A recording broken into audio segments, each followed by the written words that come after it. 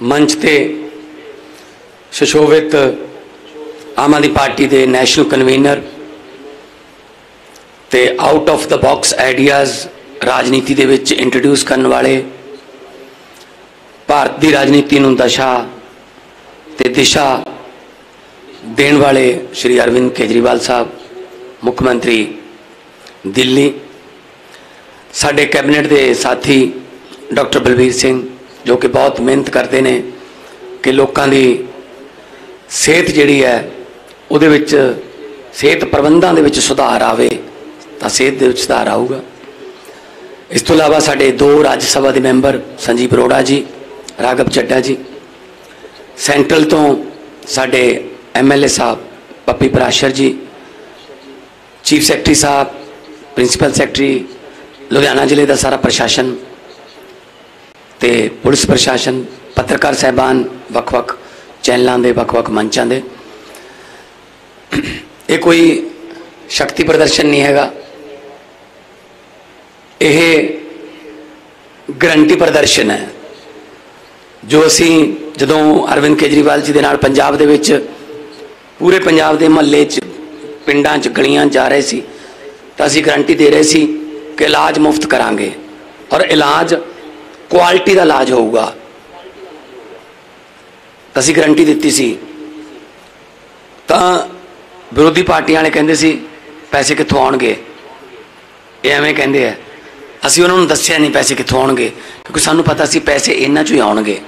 ਸੋ ਜਦੋਂ ਭ੍ਰਿਸ਼ਟਾਚਾਰੀ ਨੂੰ ਫੜਦੇ ਆ ਬਹੁਤ ਸਾਰੇ ਪੈਸੇ ਖਜ਼ਾਨੇ 'ਚ ਆਉਂਦੇ ਆ ਤੇ ਉਹੀ ਤੁਹਾਨੂੰ ਅਸੀਂ ਮਹੱਲਾ ਕਲੀਨ ਕਰਾਈ ਸਕੂਲਾਂ ਰਾਹੀਂ ਵਾਪਸ ਦਿੰਨੇ ਆ ਬਿਜਲੀ ਦੇ ਬਿੱਲ ਜ਼ੀਰੋ ਹੋ ਗਏ।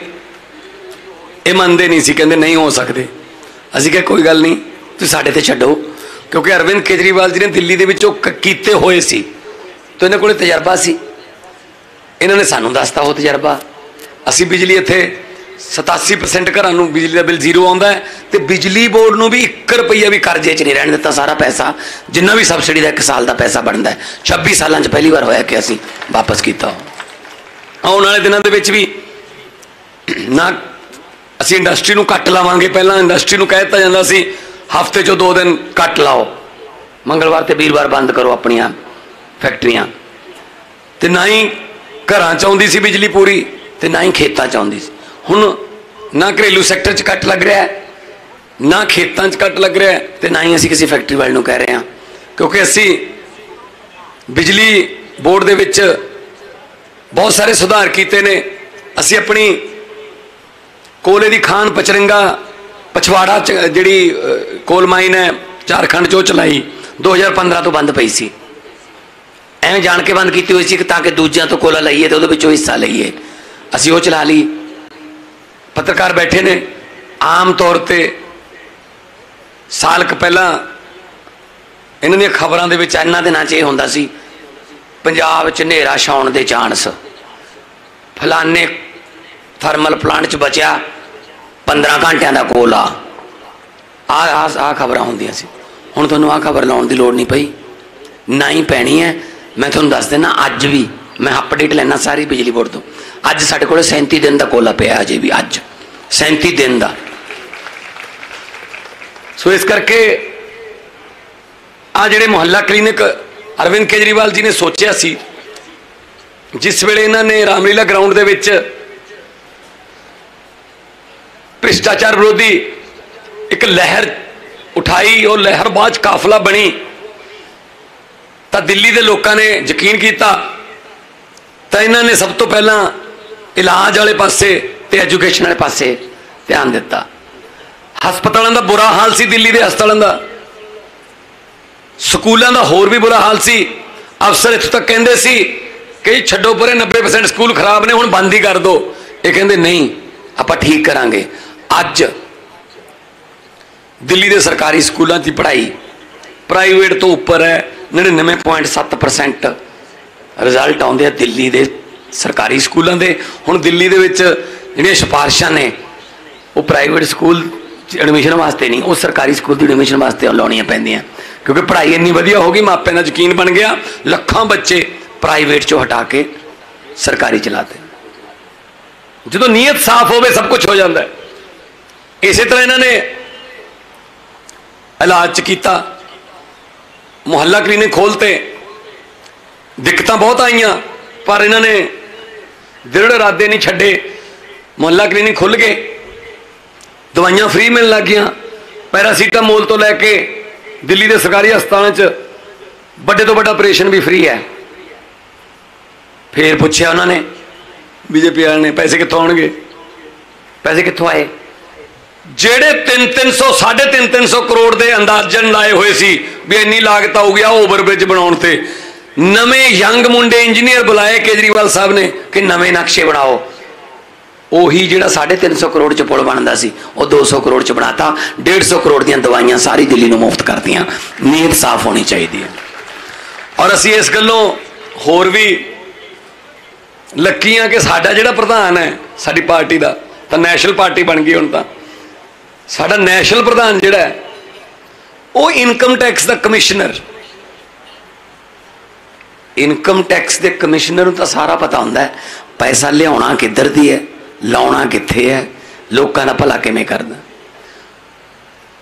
ਉਹਨਾਂ ਨੂੰ ਕਹਿੰਦੇ, ਕੇਜਰੀਵਾਲ, ਹੁਣ ਮੈਨੂੰ ਵੀ ਇਹੀ ਕਹਿਣ ਲੱਗੇ ਸਰ, ਉਹੀ ਗਾਣਾ ਮੈਨੂੰ ਪੈਣ ਲੱਗ ਗਿਆ ਕਿ ਕੇਜਰੀਵਾਲ ਤੇ ਭਗਵੰਤ ਮਾਨ ਲੋਕਾਂ ਨੂੰ ਮੁਫਤ ਦੀ ਆਦਤ ਪਾਈ ਜਾਂਦੇ ਆ। ਬਿਜਲੀ ਮੁਫਤ, ਇਲਾਜ ਮੁਫਤ ਪੜ੍ਹਾਈ ਮੁਫਤ। ਇਹ ਲੋਕਾਂ ਦੀਆਂ ਆਦਤਾਂ ਵਿਗਾੜੀ ਜਾਂਦੇ ਆ, ਕਹਿੰਦੇ। ਕੇਜਰੀਵਾਲ ਤੇ ਭਗਵੰਤ ਮਾਨ। ਅਸੀਂ ਇਹ ਕਹਿੰਦੇ ਆ ਵੀ ਲੀਡਰਾਂ ਨੂੰ ਨਹੀਂ ਬਿਜਲੀ ਫ੍ਰੀ ਜੇ ਲੀਡਰਾਂ ਦੀ ਬਿਜਲੀ ਫ੍ਰੀ ਹੋ ਸਕਦੀ ਹੈ, ਫਿਰ ਲੋਕਾਂ ਦੀ ਕਿਉਂ ਨਹੀਂ ਹੋ ਸਕਦੀ? ਲੀਡਰਾਂ ਦੇ ਨਹੀਂ ਇਲਾਜ ਫ੍ਰੀ ਸਾਰੇ ਇਲਾਜ ਦਾ ਖਰਚਾ ਖਜ਼ਾਨੇ ਨੂੰ ਪੈਂਦਾ ਹੈ। ਤੇ ਜੇ ਲੀਡਰਾਂ ਦਾ ਇਲਾਜ ਫ੍ਰੀ ਹੋ ਸਕਦਾ ਹੈ, ਲੋਕਾਂ ਦਾ ਇਲਾਜ ਕਿਉਂ ਨਹੀਂ ਫ੍ਰੀ ਹੋ ਸਕਦਾ? ਪਰ ਨੀਅਤ ਹੋਣੀ ਚਾਹੀਦੀ ਹੈ। ਅਸੀਂ ਤਾਂ ਕਰਾਂਗੇ ਜੀ। ਅਸੀਂ ਆਉਣ ਸਾਰੇ ਕੋ ਕੰਮ ਕਿ ਅਸੀਂ ਕੋਈ ਗਰੰਟੀਆਂ ਤਾਂ ਪੂਰੀਆਂ ਕਰਨੀ ਕਰਨੀਆਂ ਨੇ। ਕੁਝ ਇਹੋ ਜਿਹੇ ਕੰਮ ਕਰਤੇ ਜਿਹਦੀ ਗਰੰਟੀ ਵੀ ਨਹੀਂ ਦਿੱਤੀ ਸੀ ਅਸੀਂ। ਸੱਤ ਸੱਤ ਪੈਨਸ਼ਨਾਂ ਲੈਂਦੇ ਸੀ ਐਮਐਲਏ ਜਿੰਨੀ ਵਾਰੀ ਐਮਐਲਏ ਬਣ ਗਿਆ 60 ਤੋਂ 65000 ਜੋੜ ਲਓ। ਕਈ ਐਮਐਲਏਆਂ ਨੂੰ ਹਾਰ ਕੇ ਫਾਇਦਾ ਸੀ। ਜੇ ਜਿੱਤਦੇ ਨੇ, ਤਾਂ ਤਨਖਾਹ 85000 ਹੈ, ਜੇ ਹਾਰਦੇ ਨੇ, ਪੈਨਸ਼ਨ ਪਾਉਣੇ 4 ਲੱਖ ਹੈ। ਅਸੀਂ ਕਿਹਾ ਜੀ, ਇੱਕ ਪੈਨਸ਼ਨ ਦੇਵਾਂਗੇ ਲੈਣੀ ਆ ਲਓ, ਨਹੀਂ, ਇਹ ਵੀ ਬੰਦ ਕਰ ਦਿਆਂਗੇ। ਸੱਤ ਸੱਤ ਪੈਨਸ਼ਨਾਂ, ਲੋਕਾਂ ਨੂੰ ਤਨਖਾਹਾਂ ਨਹੀਂ ਮਿਲਦੀਆਂ ਇੱਥੇ। 6-6000 ਤੇ ਮੁੰਡੇ ਕੰਮ ਕਰਦੇ ਆ ਸਾਡੇ। ਉਹ ਵੀ ਬੰਦ ਕੀਤਾ, ਪੈਸਾ ਆਇਆ ਖਜ਼ਾਨੇ 'ਚ। ਸਵਾ 2% ਅਰਵਿੰਦ ਜੀ, ਸਵਾ 2% ਰਜਿਸਟਰੀ ਤੋਂ ਟੈਕਸ ਘਟਾਤਾ। 1 ਮਾਰਚ ਤੋਂ 31 ਮਾਰਚ ਤੱਕ 1 ਮਹੀਨੇ ਵਾਸਤੇ। ਸਵਾ 300 ਕਰੋੜ ਰੁਪਈਆ ਖਜ਼ਾਨੇ 'ਚ ਵੱਧ ਆਇਆ। ਲੋਕਾਂ ਨੇ ਰਜਿਸਟਰੀਆਂ ਕਰਾ ਲੀਆਂ ਪਾਵਰ ਆਫ ਟਰਨੀਆਂ ਤੇ ਜਿਹੜੇ ਬੈਠੇ ਸੀ, ਉਹਨਾਂ ਰਜਿਸਟਰੀਆਂ ਕਰਾ ਲੀਆਂ ਫਿਰ ਸਾਨੂੰ ਕਿਸਾਨਾਂ ਦੇ ਫੋਨ ਆਏ ਕਿ ਸਾਡੀਆਂ ਰਜਿਸਟਰੀਆਂ ਤਾਂ ਹਾੜੀ ਤੋਂ ਬਾਅਦ ਹੁੰਦੀਆਂ ਨੇ, ਕਣਕ ਤੋਂ ਬਾਅਦ। ਅਸੀਂ ਉਹਨੂੰ 30 ਅਪ੍ਰੈਲ ਤੱਕ ਵਧਾਤਾ। ਅਪ੍ਰੈਲ ਮਹੀਨੇ 'ਚ 500 ਕਰੋੜ ਰੁਪਈਆ ਜ਼ਿਆਦਾ ਆਇਆ ਜੀ ਖਜ਼ਾਨੇ 'ਚ। ਹੁਣ 15 ਮਈ ਤੱਕ ਦਾ ਐਦਾਂ ਹੁੰਦਾ ਜੀ ਪੈਸੇ ਤਾਂ ਦੇਖੋ, ਅਸੀਂ ਕੋਈ ਸਾ- ਸਰਕਾਰਾਂ ਕੋਲੇ ਕੋਈ ਨੋਟ ਛਾਪਣ ਵਾਲੀਆਂ ਮਸ਼ੀਨਾਂ ਨਹੀਂ ਹੁੰਦੀਆਂ। ਪਰ ਪੈਸਾ ਲੋਕਾਂ ਨੇ ਦੇਣਾ ਹੁੰਦਾ, ਉਹਨੂੰ ਮੈਨੇਜ ਕਰਨਾ, ਉਹ ਪੈਸੇ ਨੂੰ ਅੱਛੇ ਤਰੀਕੇ ਨਾਲ ਲੀਕੇਜ ਬੰਦ ਕਰਕੇ ਲੋਕਾਂ ਲਈ ਵਰਤਣਾ, ਇਹ ਇਹਨੂੰ ਸਰਕਾਰ ਕਹਿੰਦੇ ਹੋਰ ਕੀ ਹੁੰਦਾ ਸਰਕਾਰ? ਅਸੀਂ ਨਾ ਕਦੇ ਕਹਿਤਾ 13 ਮਹੀਨੇ ਹੋ ਗਏ ਸਰਕਾਰ ਅਸੀਂ ਨਾ ਕਦੇ ਕਹਿਤਾ ਕਿ ਖਜ਼ਾਨਾ ਖਾਲੀ ਹੈ। ਇਹ ਜਿੱਤਣ ਸਾਰ ਖਜ਼ਾਨਾ ਖਾਲੀ ਖਜ਼ਾਨਾ ਖਾਲੀ। ਜੇ ਹੁਣ ਖਾਲੀ ਹੈ ਉਹਨੂੰ ਖਜ਼ਾਨਾ ਕਿਉਂ ਕਹਿੰਦੇ ਪੀਪਾ ਕਿਹਾ ਕਰੋ ਫਿਰ ਉਹਨੂੰ। ਖਜ਼ਾਨਾ ਤਾਂ ਹੁੰਦਾ ਨਾ ਕੁਝ ਹੋਵੇ ਉਹ ਚ। ਨੀਅਤ ਸਾਫ਼ ਹੋਵੇ, ਸਭ ਕੁਝ ਹੋ ਜਾਂਦਾ ਹੈ। ਅਸੀਂ 15 15000 ਰੁਪਇਆ ਫਸਲ ਦੇ ਖਰਾਬੇ ਦਾ 20 ਦਿਨਾਂ ਦੇ ਵਿੱਚ ਦਿੱਤਾ ਜੀ। ਇਹ ਕਹਿੰਦੇ ਸੀ, ਇੰਨਾ ਹੋ ਨਹੀਂ ਸਕਦਾ। ਅਸੀਂ ਕਿਹਾ, ਹੋਊਗਾ। ਸੋ ਇਹ ਆ ਜਿਹੜੇ ਭ੍ਰਿਸ਼ਟਾਚਾਰੀ ਨੇ, ਉਹਨਾਂ ਨੂੰ ਫੜਨ ਦਾ ਸ਼ੁਰੂ ਸਿਲਸਿਲਾ ਕੀਤਾ ਹੋਇਆ ਦਰਖਤ ਵਢਾਉਣ ਦੇ ਵੀ ਪੈਸੇ, ਫਿਰ ਉਹ ਵੱਡੇ ਹੋਏ ਦਰਖਤਾਂ ਦੀ ਥਾਂ ਤੇ ਨਵੇਂ ਲਾਉਣ ਦੇ ਵੀ ਪੈਸੇ। ਐਦਾਂ ਖਾਦਾ ਪੰਜਾਬ ਇਹਨਾਂ ਨੇ। ਇੱਕ ਫੜਿਆ ਉਹ ਇੰਡਸਟਰੀ ਮਿਨਿਸਟਰ ਹੁਸ਼ਿਆਰਪੁਰ ਵਾਲਾ। ਉਹਦੇ ਚਲੋ ਸ਼ਾਪਿੰਗ ਮਾਲ ਮੈਰਿਜ ਪੈਲਸ ਤਾਂ ਹੈਗਾ ਹੀ ਹੈ ਜਦੋਂ ਭ੍ਰਿਸ਼ਟਾਚਾਰ ਦੀ ਕਮਾਈ ਸੀ। ਘਰ ਦੀ ਤਲਾਸ਼ੀ ਲਈ 10-10 ਲੱਖ ਦਾ ਸੋਫਾ 15-15 ਲੱਖ ਦੀਆਂ ਟੂਟੀਆਂ ਬਾਥਰੂਮ 'ਚ। ਪੱਖੇ ਮਹਿੰਗੇ ਸ਼ੈਂਡਲੀਅਰ।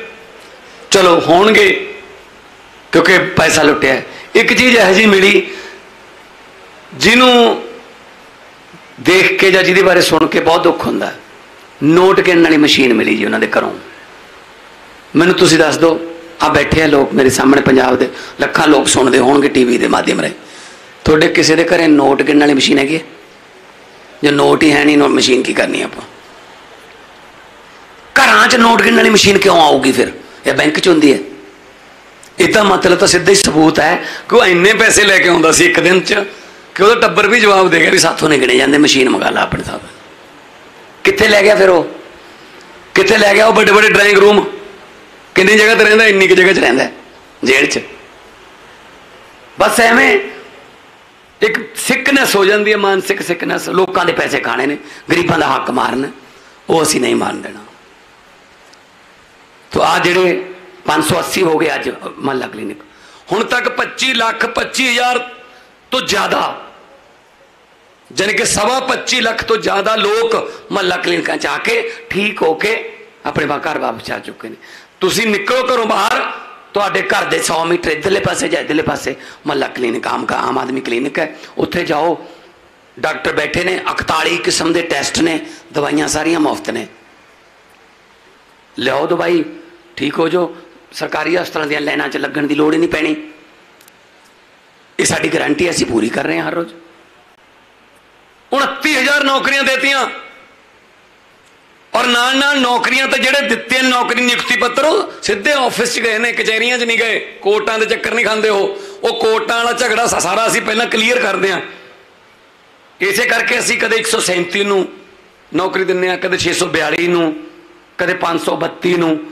ਕਿ ਜਿੰਨੇ ਕਲੀਅਰ ਹੋਈ ਜਾਂਦੀ ਹੈ ਕੋਰਟ ਵੱਲੋਂ ਲੀਗਲੀ ਰਸਤੇ ਕਲੀਅਰ ਹੋ ਜਾਂਦੇ ਆ, ਉਹਨਾਂ ਨੂੰ ਨੌਕਰੀਆਂ ਦੇਈ ਜਾਓ।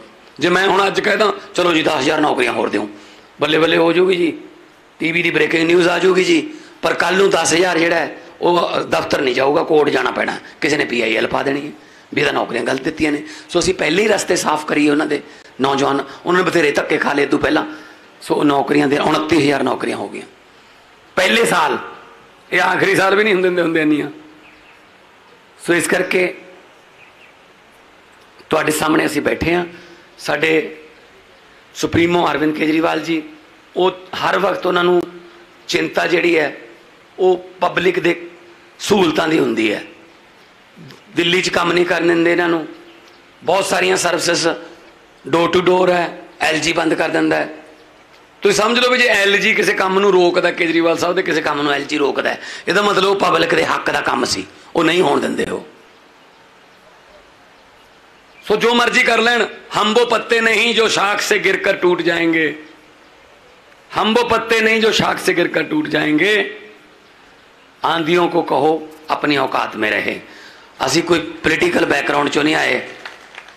ਅਸੀਂ ਆਮ ਘਰਾਂ ਦੇ ਧੀਆਂ ਪੁੱਤਾਂ ਮੈਂ ਮਹਿੰਦਰ ਮਾਸਟਰ ਦਾ ਮੁੰਡਾ, ਮੈਂ ਇੱਕ ਸਾਇੰਸ ਮਾਸਟਰ ਦਾ ਮੁੰਡਾ।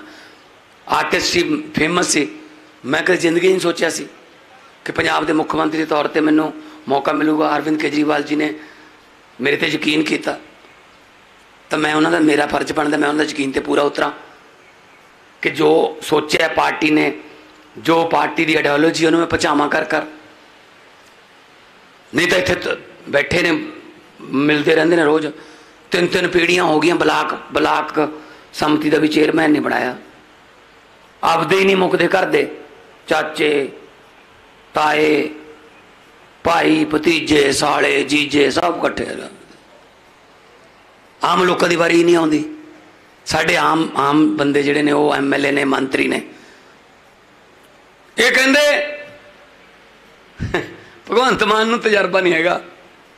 ਕੈਪਟਨ ਸਾਹਿਬ ਕਹਿੰਦੇ ਭਗਵੰਤ ਮਾਨ ਨੂੰ ਤਜਰਬਾ ਨਹੀਂ ਹੈਗਾ। ਮੈਂ ਕੈਪਟਨ ਸਾਹਿਬ, ਲੋਕ ਦੁਖੀ ਹੋ ਤਜਰਬੇਕਾਰਾਂ ਤੋਂ ਨੇ। ਤੁਹਾਡੇ ਤੋਂ ਦੁਖੀ ਨੇ ਲੋਕ। ਇਹਨਾਂ ਨੇ ਕੀ ਕੀਤਾ? ਮੁੱਖ ਮੰਤਰੀ ਬਣੇ, ਵੱਡੇ ਮਹਿਲ ਨੇ, ਉੱਚੀਆਂ ਕੰਧਾਂ ਨੇ, ਵੱਡੇ ਗੇਟ ਨੇ, ਅੰਦਰੋਂ ਦਰਵਾਜ਼ੇ ਬੰਦ ਕਰ ਲਏ, ਕੁੰਡੇ ਲਾ ਲਏ, ਵੀ ਆਮ ਲੋਕਾਂ ਨੂੰ ਮਿਲ ਨਾ ਦਿਓ। ਪਰ ਉਹਨਾਂ ਨੂੰ ਇਹ ਨਹੀਂ ਪਤਾ ਲੱਗਿਆ ਕਿ ਲੋਕਾਂ ਨੇ ਬਾਹਰੋਂ ਕੁੰਡੇ ਬੰਦ ਕਰਤੇ ਵੀ ਹੁਣ ਇੱਥੇ ਹੀ ਰਹੋ, ਹੁਣ ਬਾਹਰ ਨਾ ਨਿਕਲਿਓ। ਉਹ ਬੈਠੇ ਨੇ ਆਪਣੇ ਆਪਣੇ ਘਰਾਂ 'ਚ ਸਾਰੇ। ਸੋ ਜੇ ਮੈਨੂੰ ਪੱਤਰਕਾਰਾਂ ਨੇ ਪੁੱਛਿਆ, ਕਹਿੰਦੇ ਵੀ ਮੁੱਖ ਮੰਤਰੀ ਦੀ ਕੁਰਸੀ ਤੇ ਬਹਿ ਕੇ ਵੱਡੇ ਵੱਡੇ ਦਿਮਾਗ ਖਰਾਬ ਹੋ ਜਾਂਦੇ ਆ। ਤੁਹਾਡਾ ਦਿਮਾਗ ਕਿਉਂ ਨਹੀਂ ਖਰਾਬ ਹੋਇਆ? ਮੈਂ ਕਿਹਾ ਜੀ, ਫ਼ਰਕ ਇੰਨਾ ਕੁ ਹੈ, ਉਹ ਮੁੱਖ ਮੰਤਰੀ ਦੀ ਕੁਰਸੀ ਤੇ ਬਹਿ ਕੇ ਮਸ਼ਹੂਰ ਹੁੰਦੇ ਆ। ਮੈਂ ਮਸ਼ਹੂਰ ਹੋ ਕੇ ਕੁਰਸੀ ਤੇ ਬੈਠਾ। ਮੈਨੂੰ ਕੋਈ ਟੀਵੀ ਤੇ ਆਉਣ ਦਾ ਚਾਹ ਨਹੀਂ, ਕੋਈ ਮੈਨੂੰ ਅਖਬਾਰ 'ਚ ਆਪਦਾ ਨਾਂ ਛਪਾਉਣ ਦਾ ਚਾਹ ਨਹੀਂ। ਇਹ ਚਾਹ ਤਾਂ ਮੈਂ ਪੂਰੇ ਕਰ ਚੁੱਕਿਆ। ਸਾਢੇ 17 ਸਾਲ ਦੀ ਉਮਰ 'ਚ ਤੁਸੀਂ ਮੈਨੂੰ ਸੁਪਰਸਟਾਰ ਬਣਾਤਾ ਸੀ। ਹੁਣ ਤਾਂ ਇੱਕੋ ਹੀ ਚਾਹ ਹੈ ਕਿ ਲੋਕਾਂ ਦਾ ਜੀਵਨ ਪੱਧਰ ਉੱਚਾ ਕਿਵੇਂ ਚੱਕੀਏ। ਪੰਜਾਬ ਨੂੰ ਦੁਬਾਰੇ ਪੰਜਾਬ ਕਿਵੇਂ ਬਣਾਈਏ, ਰੰਗਲਾ ਪੰਜਾਬ ਕਿਵੇਂ ਬਣਾਈਏ। ਮੈਂ ਜਾਂ ਮੇਰੇ ਕਿਸੇ ਰਿਸ਼ਤੇਦਾਰ ਨੇ ਜਾਂ ਮੇਰੇ ਕਿਸੇ ਦੋਸਤ ਨੇ ਕੋਈ ਮਾਫੀਆ 'ਚ ਹਿੱਸਾ ਨਹੀਂ ਪਾਉਣਾ, ਬੱਸ ਮਾਫੀਆ 'ਚ ਹਿੱਸਾ ਨਹੀਂ ਪਾਉਣਾ, ਰੇਤ ਮਾਫੀਆ 'ਚ ਹਿੱਸਾ ਨਹੀਂ ਪਾਉਣਾ, ਕਿਸੇ ਢਾਬਿਆਂ 'ਚ ਹਿੱਸਾ ਨਹੀਂ ਪਾਉਣਾ। ਹਿੱਸਾ ਪਾਉਣਾ ਹੈ ਤਾਂ 3.5 ਕਰੋੜ ਪੰਜਾਬੀਆਂ ਦੇ ਦੁੱਖਾਂ 'ਚ ਹਿੱਸਾ ਪਾਉਣਾ ਹੈ। ਉਹਨਾਂ ਦੇ ਦੁੱਖ ਵੰਡਾਉਣੇ ਨੇ। ਜਿੱਥੇ ਰੋਜ਼ਗਾਰ ਨਹੀਂ, ਰੋਜ਼ਗਾਰ ਦੇਣਾ ਹੈ। ਜਿੱਥੇ ਸੜਕਾਂ ਨਹੀਂ, ਉੱਥੇ ਸੜਕਾਂ ਦੇਣੀਆਂ ਜਿੱਥੇ ਸਕੂਲ ਹੈ ਨਹੀਂ, ਉੱਥੇ ਸਕੂਲ ਦੇਣੇ ਕੇਜਰੀਵਾਲ ਸਾਹਿਬ, ਇੱਕ ਬਹੁਤ ਖੁਸ਼ੀ ਦੀ ਗੱਲ ਦੱਸਦੇ ਆ ਤਿੰਨ ਚਾਰ ਦਿਨ ਪਹਿਲਾਂ ਸਾਡਾ 8ਵੀਂ ਕਲਾਸ ਦਾ ਰਿਜ਼ਲਟ ਆਇਆ ਸਰਕਾਰ ਪੰਜਾਬ ਸਕੂਲ ਐਜੂਕੇਸ਼ਨ ਬੋਰਡ ਦਾ। ਬਹੁਤ ਸਾਰੇ ਪ੍ਰਾਈਵੇਟ ਸਕੂਲ ਵੀ ਨੇ ਉਹਦੇ ਅੰਡਰ। ਸਰਕਾਰੀ ਵੀ ਨੇ। ਦੋ ਬੱਚੀਆਂ ਫਸਟ ਆਈਆਂ ਪੰਜਾਬ ਚੋਂ। Senior secondary school girls Budhlada. Mansa ਜ਼ਿਲ੍ਹੇ ਚ। ਦੋ ਬੱਚੀਆਂ ਗਰੀਬ ਬੱਚੇ ਇੱਕ ਸਾਈਕਲ ਤੇ ਜਾਂਦੀ ਹੈ ਇੱਕ ਤੁਰ ਕੇ ਜਾਂਦੀ ਹੈ ਘਰ ਸਕੂਲ। ਕਿੰਨੇ ਨੰਬਰ ਆਏ ਉਹਨਾਂ ਦੇ? ਸਰਕਾਰੀ ਸਕੂਲ ਦੀਆਂ ਬੱਚਿਆਂ ਦੇ? 8 8ਵੀਂ ਚੋਂ।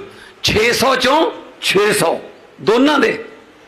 ਜਿਹੜੀ ਜਿਹੜੀ ਤੀ- ਦੂ- ਤੀਜੇ ਨੰਬਰ ਤੇ ਸਮਰਪ੍ਰੀਤ ਉਹ ਲੁਧਿਆਣੇ ਚ ਆ, ਬੱਸੀਆਂ ਰਾਏਕੋਟ ਕੋਲੇ। ਅਹ ਉਹਦੇ 598 ਤਿੰਨ ਜਾਣੇ ਦੇ 597 ਐਡਾ ਐਡਾ ਟੈਲੈਂਟ ਪਿਆ ਸਾਡੇ ਕੋਲੇ। ਪੜ੍ਹਾਈ ਕਰਨ ਨੂੰ ਸਾਡੇ ਜਵਾਕ ਬਹੁਤ ਨੇ। ਆ ਜਿਹੜੀਆਂ ਸਰਕਾਰਾਂ ਕਹਿੰਦੀਆਂ ਨਾ ਤੁਹਾਨੂੰ ਕਈ ਤੁਹਾਡੀ ਗਰੀਬੀ ਚੱਕ ਦਾਂਗੇ ਗਰੀਬੀ ਤੁਹਾਡੀ ਸਿਰਫ ਤੁਹਾਡੇ ਬੱਚੇ ਚੱਕਣਗੇ, ਜੇ ਉਹਨਾਂ ਨੂੰ ਅਸੀਂ ਕੁਆਲਿਟੀ ਐਜੂਕੇਸ਼ਨ ਦੇ ਦਈਏ, ਉਹਨਾਂ ਨੂੰ ਪੜ੍ਹਾ ਕੇ ਦਿੱਲੀ ਵਾਂਗੂ ਉਹਨਾਂ ਨੂੰ ਜੱਜ ਲ- ਲਵਾ ਦਈਏ। ਉਹ ਨੀਟ ਦੇ ਪੇਪਰ ਕਲੀਅਰ ਕਰਨ, ਉਹ ਜੇਈਟੀ ਕਰਨ, ਉਹ ਡਾਕਟਰ ਬਣਨ, ਤਾਂ ਗਰੀਬੀ ਚੱਕੇ ਜਾਣਗੀਆਂ। ਨਹੀਂ ਤਾਂ ਇਹਨਾਂ ਨੇ ਆਟਾ ਦਾਲ ਸਕੀਮ ਚ ਹੀ ਲਾ ਰੱਖੇ ਸੀ ਬਸ। ਕੋਈ ਨਵੀਂ ਗੱਲ ਕਰੀਏ ਅਸੀਂ ਤਾਂ ਸੋਚ ਕੇ ਕਰਦੇ ਆ 7:30 ਵਜੇ ਤੋਂ ਲੈ ਕੇ 2 ਵਜੇ ਤੱਕ ਦਫ਼ਤਰਾਂ ਦਾ ਟਾਈਮ ਕਰਤਾ। ਨਾਲ ਤਾਂ ਲੋਕ ਖੁਸ਼ ਨੇ। ਠੰਡੇ ਠੰਡੇ ਕੰਮ ਹੋ ਜਾਂਦਾ ਉਹਨਾਂ ਦਾ। ਉਸ ਤੋਂ ਬਾਅਦ ਉਹ ਆਪਣੇ ਕੰਮ ਤੇ ਜਾ ਸਕਦੇ ਨੇ ਰੈਗੂਲਰ ਕੰਮ ਤੇ। ਤੇ ਨਾਲੇ ਮੁਲਾਜ਼ਮ 2 ਵਜੇ ਵਿਹਲੇ ਹੋ ਰਹੇ ਨੇ। ਤੇ ਨਾਲੇ 350 ਮੈਗਾਵਾਟ ਇੱਕ ਦਿਨ ਦੀ ਬਿਜਲੀ ਦੀ ਖਪਤ ਘਟ ਰਹੀ ਹੈ। ਜੇ ਇਹਨੂੰ ਕਰੰਸੀ ਚ ਪੈਸਿਆਂ ਚ ਬਦਲ ਲਈਏ ਸਰਕਾਰੀ ਦਫ਼ਤਰਾਂ ਦਾ 1 ਮਹੀਨੇ ਦਾ ਬਿੱਲ 16 ਤੋਂ 17 ਕਰੋੜ ਰੁਪਇਆ ਘਟ ਜਾਊਗਾ ਜੀ। ਤਿੰਨ ਮਹੀਨਿਆਂ ਵਾਸਤੇ 50 ਕਰੋੜ ਰੁਪਇਆ ਬਚ ਜਾਊਗਾ। 50 ਕਰੋੜ ਨਾਲ ਆਪਾਂ ਕਿੰਨਾ ਕਿੰਨਾ ਗਰੀਬਾਂ ਦੇ ਵਾਸਤੇ ਦਵਾਈ ਦੇ ਸਕਦੇ ਹਾਂ, ਕਿੰਨੀ ਆਪਾਂ ਸਕੂਲਾਂ ਦੇ ਵਿੱਚ ਪੜ੍ਹਾਈ ਦੇ ਸਕਦੇ ਹਾਂ। ਐਂ ਜੋੜਦੇ ਹਾਂ ਅਸੀਂ ਪੈਸੇ ਨਾਲ ਪੈਸਾ। ਤਾਂ ਅਸੀਂ ਕਹਿੰਦੇ ਆ ਕਿ ਸਾਡਾ ਖੇਡ ਕੋਲ ਕੋਈ ਖਜ਼ਾਨਾ ਖਾਲੀ ਨਹੀਂ ਹੈਗਾ। ਪਹਿਲਾਂ ਪੈਸੇ ਤਾਂ ਖਜ਼ਾਨੇ ਦਾ ਮੂੰਹ ਹੀ ਇਹਨਾਂ ਵੱਲ ਸੀਗਾ। ਸੋ ਆਹ ਜਿਹੜਾ ਸੀਐਮ ਸਾਹਿਬ ਇਹ ਕਹਿੰਦੇ ਸੀਗੇ, ਅਰਵਿੰਦ ਜੀ ਕਹਿੰਦੇ ਤੁਹਾਨੂੰ ਪੰਜਾਬ 'ਚ ਇਹ ਫਾਇਦਾ ਹੈ ਕਿ ਤੁਹਾਡੇ ਕੋਲੇ ਜਗ੍ਹਾ ਬਹੁਤ ਖੁੱਲੀ ਹੈ। ਇਹਨਾਂ ਨੂੰ ਦਿੱਲੀ ਦੇ ਵਿੱਚ ਮਹੱਲਾ ਕਲੀਨਿਕ ਬਣਾਉਣ ਵੇਲੇ ਬਹੁਤ ਦਿੱਕਤਾਂ ਆਈਆਂ। ਮੇਰੇ ਖਿਆਲ 'ਚ ਤੁਹਾਨੂੰ ਅਹ, ਪਹਿਲੇ 500 ਬਣਾਉਣ 'ਚ ਇੱਕ ਸਾਲ ਲੱਗ ਗਿਆ ਸੀ ਬਈ। 5 ਸਾਲ। 5 ਸਾਲ ਪਹਿਲੇ 500 ਬਣਾਉਣ 'ਚ। ਤੇ ਅਸੀਂ 15 ਅਗਸਤ ਨੂੰ 400 ਖੋਲਤੇ ਸੀ। ਪਹਿਲੇ 1 ਸਾਲ ਦੇ ਵਿੱਚ ਵਿੱਚ ਹੀ। ਕਿਉਂਕਿ ਸਾਡੇ ਕੋਲੇ ਜਗ੍ਹਾ ਹੈਗੀ ਹੈ। ਸਾਡੇ ਕੋਲੇ ਜਿਹੜਾ ਬਜਟ ਹੈਗਾ ਤਾਂ ਅਸੀਂ ਲਾਇਆ। ਹਾਂ ਇੱਕ ਇੱਕ ਸਾਡੇ ਕੋਲ ਜਗ੍ਹਾ ਵੀ ਹੈ, ਸਾਡੇ ਕੋਲ ਪੈਸਾ ਵੀ ਹੈ, ਸਾਡੀ ਨੀਅਤ ਵੀ ਠੀਕ ਹੈ, ਨੀਅਤ ਵੀ ਹੈ। ਬਸ ਸ਼ੁਕਰ ਹੈ ਇਸ ਗੱਲ ਦਾ, ਸਾਡੇ ਕੋਲ ਐਲਜੀ ਨਹੀਂ ਹੈਗਾ। ਵੀ ਕੋਈ ਰੋਕਦਾ ਨਹੀਂ ਸਾਡੀਆਂ ਫਾਈਲਾਂ। ਠੀਕ ਹੈ ਨਾ? ਸੋ ਮੈਂ ਤਾਂ ਇਹੀ ਕਹਿਣਾ ਚਾਹੂੰਗਾ ਅੱਜ ਜਲੰਧਰ ਵੀ ਜਾਂਦੇ ਆ ਲੋਕ ਸਭਾ ਚ ਮੈਂ ਅੱਜ ਵੀ ਉੱਥੋਂ ਹੀ ਆਇਆ, ਉੱਥੇ ਹੀ ਜਾਣਾ ਹੈ।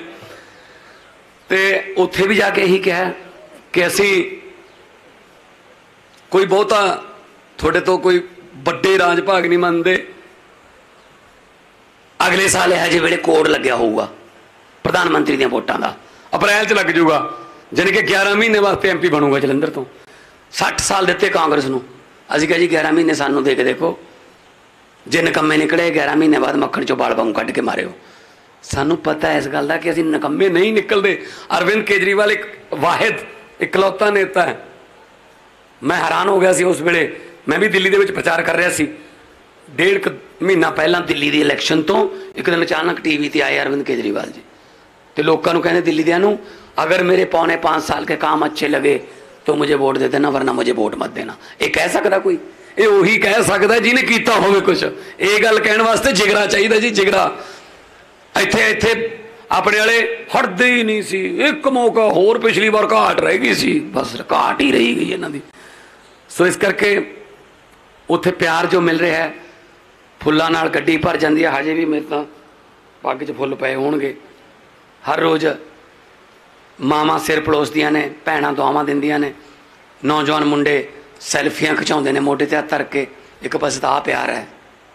ਇੱਕ ਪਾਸੇ ਕਾਲੀ ਕਾਂਗਰਸੀ ਲੀਡਰ ਨੇ ਭਾਜਪਾ ਵਾਲੇ ਨੇ ਉਹਨਾਂ ਨਾਲ ਹੱਥ ਮਿਲਾ ਕੇ ਬਾਅਦ ਚ ਉਂਗਲੀਆਂ ਗਿਣਨੀਆਂ ਪੈਂਦੀਆਂ ਨੇ ਪੂਰੀਆਂ ਨੇ ਜਾਂ ਲੈ ਗਏ ਇੱਕ ਅੱਧੀ ਉਹਨਾਂ ਦਾ ਪਤਾ ਹੀ नहीं की की खा जाना किसी नदिया के घाट पर अगर ये नेता लोग बस जाते तो जनता के प्यासे होठ भी दो बूंद पानी के लिए तरस जाते गनीमत है शुक्र है मौसम पर हुकूमत चल नहीं सकती वरना सारे के सारे बादल भी इनके खेतों में ही बरस जाते सो वीरो ਅਸੀਂ ਤਾਂ ਆਮ ਲੋਕ ਹਾਂ, ਆਮ ਲੋਕਾਂ ਵਾਸਤੇ ਕੰਮ ਕਰਦੇ ਹਾਂ। ਪ੍ਰਮਾਤਮਾ ਅੱਗੇ ਇਹੀ ਅਰਦਾਸ ਕਰਦੇ ਹਾਂ ਦੋ- ਦੋ ਦੋ ਟਾਈਮ ਕਿ ਪ੍ਰਮਾਤਮਾ ਕੋਈ ਗਲਤ ਫੈਸਲਾ ਨਾ ਕਰਾ ਲਈ ਫੈਲਾਂ ਤੇ ਸਾਈਨ ਹੋਣ, ਜਿਹਦੇ ਨਾਲ ਪੰਜਾਬ ਤਰੱਕੀ ਕਰੇ, ਚੁੱਲ੍ਹਿਆਂ ਦੇ ਵਿੱਚ ਅੱਗ ਬਲੇ, ਕਿਸੇ ਦੇ ਕਬੀਲਦਾਰੀ ਲੀਹ ਤੇ ਚੜੇ ਸੋ ਆ ਮੁਹੱਲਾ ਕਲੀਨਿਕ ਜਿਹੜੇ 580 ਨੇ, ਇਸ ਤੋਂ ਬਾਅਦ ਹੋਰ ਅਗਲੀ ਸ਼ਿਫਟ ਤਿਆਰ ਹੋਊਗੀ।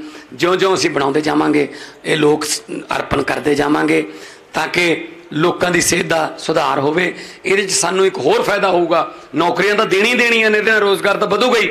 ਸਾਡੇ ਕੋਲੇ ਕੰਪਿਊਟਰ ਦੇ ਵਿੱਚ ਸਾਰੇ ਪੰਜਾਬ ਦਾ ਡਾਟਾ ਆ ਜਾਊਗਾ। ਸਾਨੂੰ ਇਹ ਪਤਾ ਲੱਗ ਜਾਊਗਾ ਪੰਜਾਬ ਦੇ ਕਿਹੜੇ ਹਿੱਸੇ 'ਚ, ਕਿਹੜੇ ਖਿੱਤੇ 'ਚ ਕਿਹੜੀ ਬਿਮਾਰੀ ਜ਼ਿਆਦਾ ਫੈਲ ਰਹੀ ਹੈ। ਹਾਈਪਰਟੈਂਸ਼ਨ ਵਾਲੇ ਕਿੰਨੇ ਕੇਸ ਆ ਰਹੇ ਨੇ ਹੈਪੇਟਾਈਟਸ ਸੀ ਵਾਲੇ ਕਿੰਨੇ ਆ ਰਹੇ ਨੇ, ਬੱਚਿਆਂ 'ਚ ਕਿਹੜੀ ਬਿਮਾਰੀ ਜ਼ਿਆਦਾ ਫੈਲ ਰਹੀ ਹੈ, ਉਹਦੇ ਨਾਲ ਫਿਰ ਸਾ- ਸਾਨੂੰ ਰਿਸਰਚ ਵੀ ਕਰ ਸਕਦੇ ਹਾਂ ਅਸੀਂ, ਤੇ ਜਿਹੜੇ ਇਲਾਕੇ 'ਚ ਕੋਈ ਜ਼ਿਆਦਾ ਬਿਮਾਰੀ ਹੈ, ਉਹਦੇ ਸਪੈਸ਼ਲਿਸਟ ਡਾਕਟਰ ਜਾਂ ਹਸਪੀਟਲ ਵੀ ਖੋਲ ਸਕਦੇ ਹਾਂ। ਇਹ ਇਹ ਫਾਇਦਾ ਇਸ ਗੱਲ ਦਾ ਹੋਊਗਾ। ਸੋ ਮੈਂ ਜ਼ਿਆਦਾ ਟਾਈਮ ਨਹੀਂ ਲੈਣਾ ਕਿਉਂਕਿ ਅਰਵਿੰਦ ਜੀ ਨੇ, ਅਸੀਂ ਆਪਾਂ ਤਾਂ ਹਰ ਰੋਜ਼ ਬੋਲਦੇ ਰਹਿੰਦੇ ਆ ਆ ਪੱਤਰਕਾਰ ਭਰਾ ਬੈਠੇ ਨੇ, ਇਹਨਾਂ ਨੂੰ ਪੁੱਛ ਲਓ। ਸਰ 10 ਸਾਲਾਂ 'ਚ ਇੰਨਾ ਇੰਨਾ ਕਿਸੇ ਮੁੱਖ ਮੰਤਰੀ ਨੇ ਇਹਨਾਂ ਨਾਲ ਪ੍ਰੈਸ ਕਾਨਫਰੰਸ ਜਾਂ ਵਾਰਤਾ ਨਹੀਂ ਕੀਤੀ, ਜਿੰਨੀ ਅਸੀਂ 10 ਦਿਨਾਂ 'ਚ ਕਰ ਲੈਂਦੇ ਹਾਂ। ਹਰ ਰੋਜ਼ ਇਹਨਾਂ ਨਾਲ ਗੱਲ ਹੁੰਦੀ ਹੈ। ਕਿਸੇ ਵੀ ਛੋਟੇ-ਮੋਟੇ ਸਵਾਲ ਦਾ ਵੀ ਜਵਾਬ ਮੈਂ ਆਪ ਦੇ ਕੇ ਜਾਣਾ ਮੈਨੂੰ ਕਹਿੰਦੇ ਨੇ ਕਈ ਵਾਰੀ, ਕਹਿੰਦੇ ਪ੍ਰੋਟੋਕਾਲ ਹੈ। ਮੈਂ ਕੀ ਹੈ ਜੀ? ਕਹਿੰਦੇ ਵਿਧਾਨ ਸਭਾ 'ਚ ਤੁਸੀਂ ਹਰ ਸਵਾਲ ਦਾ ਜਵਾਬ ਨਾ ਦਿਆ ਕਰੋ, ਆਪ ਖੜੇ ਹੋ ਕੇ। ਮੈਂ ਕਿਹਾ ਜੀ, ਕਿਉਂ? ਕਹਿੰਦੇ ਪ੍ਰੋਟੋਕਾਲ ਹੁੰਦਾ ਮੈਂ ਕਿਹਾ ਜੀ, ਕੀ ਹੁੰਦੀ ਪ੍ਰੋਟੋਕਾਲ ਕੀ ਹੁੰਦਾ ਕਹਿੰਦੇ ਪਹਿਲਾਂ ਵਾਲੇ ਜਿਹੜੇ ਮੁੱਖ ਮੰਤਰੀ ਹੁੰਦੇ ਸੀ ਉਹ ਐਂ ਜਵਾਬ ਨਹੀਂ ਦਿੰਦੇ ਸੀ। ਮੈਂ ਕਿਹਾ ਫਿਰ ਤਾਈਓ ਤਾਂ ਪਹਿਲਾਂ ਵਾਲੇ ਨੇ ਉਹ। ਹੁਣ ਵਾਲੇ ਕਿਉਂ ਨਹੀਂ ਹੈਗੇ ਉਹ? ਉਹਨਾਂ ਕੋਲੇ ਜਵਾਬ ਹੈ ਨਹੀਂ ਸੀ, ਮੇਰੇ ਕੋਲੇ ਜਵਾਬ ਹੈ, ਮੈਂ ਕਿਸੇ ਗੱਲੋਂ ਕਾਣਾ। ਮੇਰੇ ਕੋਲ ਤਾਂ ਇੱਕ ਸਵਾਲ ਦੇ ਤਿੰਨ ਤਿੰਨ ਜਵਾਬ ਹੈ। ਕਰੋ ਸਵਾਲ ਮੈਨੂੰ। ਮੈਂ ਤਾਂ ਜਿੰਨਾ ਚਿਰ ਪੱਤਰਕਾਰਾਂ ਦੇ ਸਵਾਲਾਂ ਦੇ ਜਵਾਬ ਨਹੀਂ ਮੁੱਕਦੇ, ਉਹਨਾਂ ਚਿਰ ਹਿਲਦਾ ਨਹੀਂ ਮੈਂ। ਸੋ ਇਸ ਕਰਕੇ ਕਿਉਂਕਿ ਅਸੀਂ ਸੱਚੇ ਹਾਂ। ਸੱਚ ਬੋਲਣ ਦਾ ਇੱਕੋ ਹੀ ਫਾਇਦਾ ਹੁੰਦਾ ਹੈ ਕਿ ਉਹਨੂੰ ਇੱਕ ਵਾਰੀ ਬੋਲ ਕੇ ਦੁਬਾਰਾ ਯਾਦ ਨਹੀਂ ਰੱਖਣਾ ਪੈਂਦਾ। ਜਿੱਥੇ ਬੋਲੋਗੇ, ਸੱਚ ਹੀ ਬੋਲੋਗੇ। ਝੂਠ ਬੋਲ ਕੇ ਯਾਦ ਰੱਖਣਾ ਪੈਂਦਾ। ਪਿਛਲੇ ਸਾਲ ਕੀ ਕਹਿ ਕੇ ਗਏ ਸੀ ਬਈ?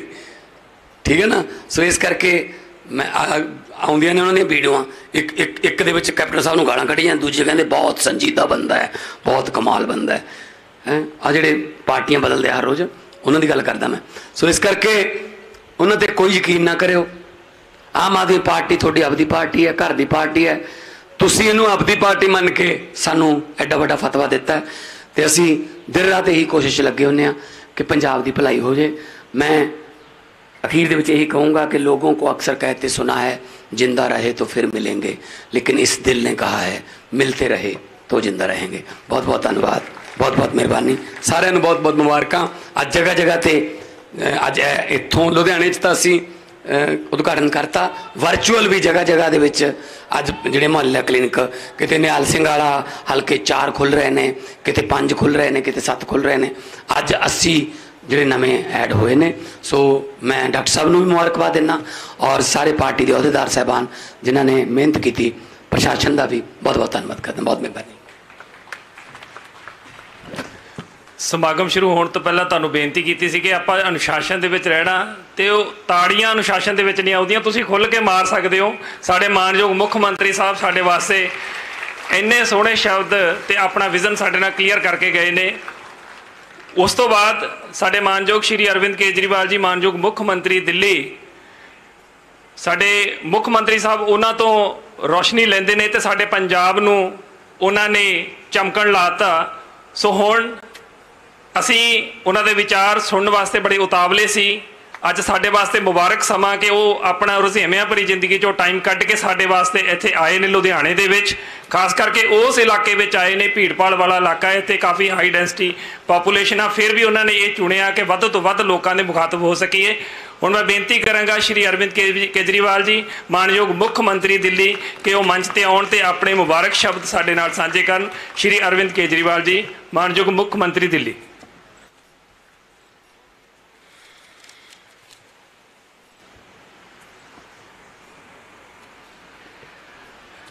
मंच पे मौजूद पंजाब के बेहद लोकप्रिय मुख्यमंत्री सरदार भगवंत मान साहब, पंजाब के health minister doctor Balbir Singh ji,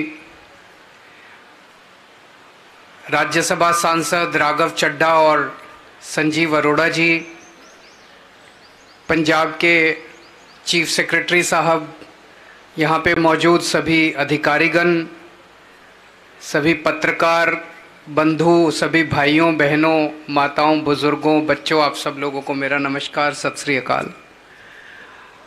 आज यहाँ के बेहद खुशी है कि आज पूरे पंजाब में 80 मोहल्ला क्लिनिक, नए मोहल्ला क्लिनिक और चालू होने जा रहे हैं। पंजाब में अभी तक 500 मोहल्ला क्लिनिक काम कर रहे थे और ये 500 मोहल्ला क्लिनिक में जिन लोगों ने इलाज कराया जिन जिन इलाकों में ये काम कर रहे थे, वहाँ से लोगों से जब बात करने का मौका मिलता था तो बेहद लोकप्रिय हैं ये मोहल्ला क्लिनिक। लोगों को बहुत सहूलियत मिल रही है। इन मोहल्ला क्लिनिक में आप अपने घर से बाहर निकलो, थोड़ी दूर के बाद मोहल्ला क्लिनिक है। वहाँ जाके अपना डॉक्टर को इलाज कराओ। डॉक्टर मुफ़्त है, इलाज मुफ़्त है, दवाइयाँ मुफ़्त है, टेस्ट मुफ़्त है। सारा इलाज मुफ़्त है। इस तरह का और एयर कंडीशन मोहल्ला क्लिनिक के अंदर बिल्कुल साफ़ सफ़ाई, सुथरा, ऐसा दिखता नहीं कि कोई सरकारी महकमा है।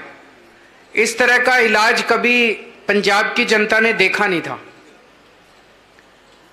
आज से सवा साल, डेढ़ साल पहले, जब पंजाब के कोने कोने में मैं और सरदार भगवंत मान सिंह वोट मांगने जाते थे हम ये सारे वादे किया करते थे। हम ये कहते थे कि हमारी सरकार बनेगी, आपका पूरा इलाज मुफ़्त कर देंगे, हम आपकी शिक्षा अच्छी कर देंगे, स्कूल अच्छे बनाएँगे, ये करेंगे, बिजली मुफ़्त करेंगे। लोगों ने सुना तो था कि दिल्ली में इन लोगों ने करा है। दिल्ली में और पंजाब में रिश्तेदारियाँ, दोस्तियाँ बहुत हैं। पंजाब के लोगों के रिश्तेदार उधर रहते हैं, दिल्ली के लोगों के रिश्तेदार इधर रहते हैं। आपस में सुना था लोगों ने कि दिल्ली में ये लोग करके आए हैं। लेकिन लोगों के मन में फिर भी होता था, पता नहीं कर पाएँगे, नहीं कर पाएँगे। पर लोगों ने सोचा, एक मौका दे के देखते हैं इनको भी। जब दूसरी पार्टी वालों को इतने मौके दिए तो एक मौका इनको भी दे के देखते हैं। उस टाइम हम बार बार कहते थे कि हमारी पार्टी ईमानदार पार्टी है। हम ईमानदार सरकार बनाएँगे एक एक वादा पूरा करेंगे। दोस्तों, मुझे भी यकीन नहीं था जब हमारी सरकार बनी एक साल पहले। मुझे भी पूरा यकीन नहीं था कि इतनी तेज़ी के साथ काम होने लगेंगे। आज जिस तेज़ी के साथ पंजाब के अंदर काम हो रहे अभी एक ही साल हुआ है। एक साल कोई बहुत ज़्यादा नहीं होता। इन लोगों ने 75 साल से इन सारी पार्टियों ने मिलकर पंजाब को लूटा था। जो ये एक उंगली लगाओ इसके नीचे एक हज़ार घोटाले मिलेंगे आपको पंजाब के अंदर। इतने घोटाले कर रखे हैं, इतने माफिया। कोई सेक्टर उठा के देख लो, माफिया ही माफिया माफिया ही माफिया। उस सारी चीज़ों को ठीक करने में टाइम तो लगता है। उसके बावजूद, जैसा भी भगवंत मान साहब ने बताया, दिल्ली में हमें 500 मोहल्ला क्लिनिक बनाने में पाँच साल लग गए। पंजाब में 580 मोहल्ला क्लिनिक एक साल के अंदर बन गए। पिछले तीन चार महीने में मेरा कई बार आना जाना हुआ। मान साहब ने मुझे कई बार बुलाया और हर बार कोई नई चीज़ का उद्घाटन करने के लिए आता हूँ मैं। कभी 400 मोहल्ला क्लिनिक का उद्घाटन करने के लिए बुलाया, एक बार 100 मोहल्ला क्लिनिक का उद्घाटन करने के लिए बुलाया, आज 80 मोहल्ला क्लिनिक एक बार योगा क्लासेस का उद्घाटन करने के लिए बुलाया। मुझे बहुत अच्छा लग रहा है कि इतनी तेज़ी के साथ आज पंजाब की तरक्की हो रही है। पचहत्तर साल तक पंजाब के लोगों ने केवल लूट लूट लूट और लूट और चोरी और डकैती देखी थी। पहली बार आज पंजाब विकास की बुलंदियों को छू रहा है। और जब आप अच्छा काम करते हो तो उसकी खुशबू चारों तरफ़ फैलती है। दिल्ली में जब हमने अच्छा काम चालू कर, किया करना तो उसकी खुशबू चारों तरफ़ फैलने लगी और उसकी खुशबू पंजाब तक पहुँची और पंजाब में दिल्ली के कामों की खुशबू फैल गई और पंजाब के लोगों ने हमारी सरकार बना दी। अब पंजाब के अंदर अच्छे काम होने लगे हैं और पंजाब के अच्छे कामों की खुशबू चारों तरफ़ फैल रही है। पहले हमने दिल्ली में बिजली मुफ़्त की। लोग कहते, दिल्ली में तो हो सकती है, पंजाब में नहीं हो सकती। अब पंजाब में भी कर दी। अब लोगों को लगता है हाँ यार, हो तो सकती है, दिल, बिजली तो हर जगह मुफ़्त हो सकती है। बिजली मुफ़्त की हमने कहा था, वादा किया था, एक साल के अंदर हमने बिजली मुफ़्त कर दी। नौकरियाँ, अभी मान साहब ने आपको बताया, उनतीस हज़ार तो सरकारी नौकरी दे दी। पर ये तो केवल सरकारी नौकरी है। जैसे ये मोहल्ला क्लिनिक 580 बन गए, इनमें 580 डॉक्टर उससे दुगने तुगने लगभग डेढ़ हज़ार पैरामेडिक्स और एक एक मोहल्ला क्लिनिक में लगभग छह छह सात सात लोगों को नौकरी मिलती है। तो आप सोच सकते हो कितने। एक चीज़ जो सबसे बड़ी जो लोगों को पता नहीं कितनी पता है, पिछले एक साल के अंदर आपके मुख्यमंत्री सरदार भगवंत मान ने पूरे देश में घूम घूम के घूम घूम के चालीस हज़ार करोड़ रुपए की इन्वेस्टमेंट लेके आए हैं पिछले एक साल के अंदर। और ये कोई फर्जी, पहले जैसे देखा करते थे बड़े बड़े हर राज्य करता है इन्वेस्ट जैसे इन्वेस्ट पंजाब होता है यहाँ पे इन्वेस्ट गुजरात इन्वेस्ट फलाना गुजरात इन्वेस्टमेंट महाराष्ट्र, हर एक राज्य के अंदर नौटंकी होती है। वो नौटंकी होती है, मैं जानबूझ के ये शब्द इस्तेमाल कर रहा हूँ, वो नौटंकी होती है। उसमें एमओयू साइन होते हैं। पैसा नहीं आता, नौकरी नहीं मिलती, रोज़गार नहीं मिलता, इंडस्ट्री नहीं आती एमओयू होते हैं केवल। पिछले एक साल में भगवंत मान हैदराबाद गए, चेन्नई गए, बंबई गए, दिल्ली गए, पूना गए, और एक एक एक एक इंडस्ट्री वाले के साथ कमरे में बैठ के बात की, नौटंकी नहीं की। आज चालीस हज़ार करोड़ रुपए के एमओयू नहीं है। फैक्ट्रियाँ बननी चालू हो गई हैं। टाटा स्टील का सेकंड लार्जेस्ट प्लांट पूरे देश का सेकंड लार्जेस्ट प्लांट जमशेदपुर के बाद पंजाब के अंदर बनने जा रहा है। चालीस हज़ार करोड़ की इंडस्ट्री लगनी चालू हो गई है। जमीनें खरीदी जा चुकी हैं, नारियल फोड़े जा चुके हैं फाउंडेशन बननी चालू हो गई है। और ये इंडस्ट्रियाँ अगले कुछ महीने में, साल, डेढ़ साल में बन के चालू हो जाएगी। इन इंडस्ट्रीज़ के अंदर ढाई लाख लोगों को रोज़गार मिलने वाला है, ढाई लाख। ये छोटी बात नहीं है, ये बहुत बड़ी बात है। और पूरे देश के लोग, पूरे देश की इंडस्ट्री आज पंजाब के अंदर अपना विश्वास जता रही है। ये बहुत बड़ी बात है। और एक और बड़ी बात है, जब भगवंत मान जाते थे, पूना जाते थे, हैदराबाद मेरे से बातचीत होती रहती थी, मैं देखता था सोशल मीडिया पे। अक्सर मुख्यमंत्रियों की एक ईगो होती है, अहंकार होता है, मैं तो मुख्यमंत्री हूँ। मैं तो सीएम हूँ, पंजाब का सीएम हूँ। मेरे से मिलने तो टाटा स्टील का चेयरमैन आना चाहिए। होता है कि नहीं होता है? वो अपने पीए से पूछता है, मुख्यमंत्री, कौन मिलने आ रहा है? तो पीए वहाँ से करता है यार चेयरमैन से कम तो क्या आना चाहिए हमारे मुख्य? ये सीईओ से मिल लेते हैं, ये मैनेजिंग डायरेक्टर से किसी से मिल लेते हैं, कोई ऐसा शख्स आ जाए जो पंजाब में पैसा लगाने को तैयार हो। कोई ऐसा शख्स आ जाए जो पंजाब के बच्चों को नौकरी देने को तैयार हो, भगवंत मान का कोई अहंकार नहीं है, ये सबसे मिल लेते हैं। ये बड़ी बात है। एक साल के अंदर चालीस हज़ार करोड़ रुपए लाना कोई हँसी खेल नहीं है। चालीस हज़ार करोड़ रुपए के तो इनके पुराने मुख्यमंत्रियों के फर्जी एमओयू हुआ करते थे। ये आज इंडस्ट्री लगनी चालू हो गई, ये बहुत बड़ी। पहले हम देखते थे टंकी पे चढ़े रहते थे बच्चे। टीचर, कोई टीचर टंकी पे चढ़े हुए हैं, ये कच्चे कर्मचारी टंकी पे चढ़े हुए हैं, वो कच्चे कर्म ये सिलसिला बंद हो गया जब से आम आदमी पार्टी की सरकार बनी है। आज सत्ताईस हज़ार से ज़्यादा, सत्ताईस हज़ार से ज़्यादा लोग बच्चे पक्के हो चुके हैं और जैसा उन्होंने कहा, फर्जी पक्के नहीं कर रहे। अभी तक जितनी सरकारें आई, चुनाव के पहले, दो महीने बाद चुनाव है, दो महीने पहले कैबिनेट में प्रस्ताव पारित करके कह देंगे सारे पक्के हो गए। ऐसे पक्के नहीं होते। फिर कोई कोर्ट में चला जाता है और कोर्ट में केस पे केस केस पे केस चलते रहते हैं। उनकी नीयत खराब थी, उन्होंने पक्के करने नहीं थे। हमने सरकार बनते ही पक्के करने चालू कर दिए। एजी को बिठा के, वकीलों को बिठा के, अफसरों को बिठा के, सबको बिठा के बता, पूछा, भाई, कैसे पक्के करें ताकि कोर्ट